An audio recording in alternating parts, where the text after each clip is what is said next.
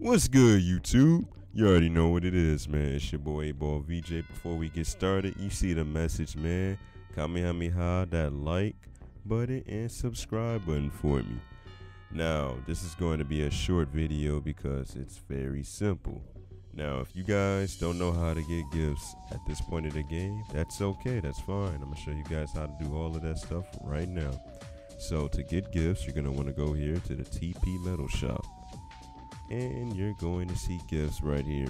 Now, they're not always available, so don't comment like, oh man, the gifts are not here. Yeah, like they're not always going to be available.